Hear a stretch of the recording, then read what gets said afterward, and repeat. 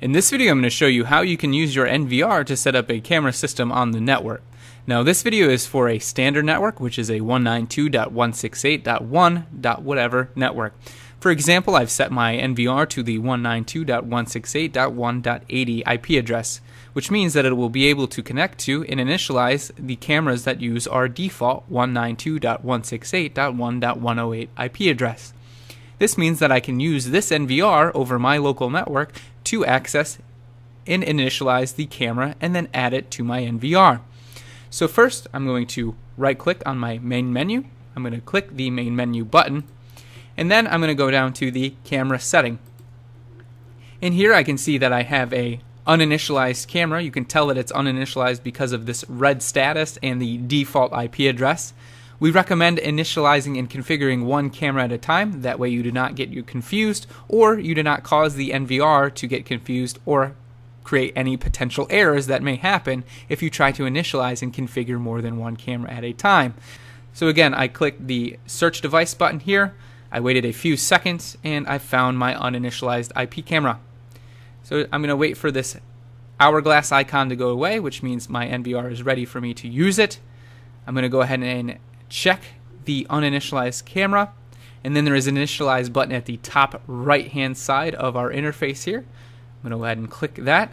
It's going to say use a local password and email. What this is going to do is going to set up the camera with the password on the NVR and the recovery email that is on the NVR. I'm of course going to want to keep these the same for my setup, so I'm going to click the next button. Here I can set up a IP address for my camera. Again, this is the IP address for your camera. If you had many cameras, if you were brave in configuring many cameras at the same time, you could use the incremental value for it to swap between IP addresses and configure those cameras. Or you could use DHCP, which will tell your camera to automatically grab an IP address from your router. We don't recommend doing this. Again, uh, for organizational purposes, you'll want to set a static IP address. For example, you want to set your camera 1 to, say, 81, and then camera 2 to 82, camera 3 to 83, so on and so forth, just to keep some organization. You don't have to use our example of setting the recorder to 80, uh, camera 1 to 81, so on. You can use your own custom setup if you will, but if you like our setup, feel free to use the 80, 81, and so on. But as you can see, I set camera 1 this will be camera 1 on my system to 81 and then I left the other two subnet mask and default gateway alone because it is, is a standard 192.168 network. So I'm going to click the next button. That's going to go ahead and take a second to push that information to my camera and set its IP address. And here you can see there is a status that says initialize succeed and modify IP succeed for this camera. So I'm going to click the OK button and then now, to check to see if this camera was initialized, I can click the search device button here again. It's going to search the network using my router for these, this camera. As you can see, we now turned that red X status to a green checkmark icon, and that means this camera has been initialized by my NVR.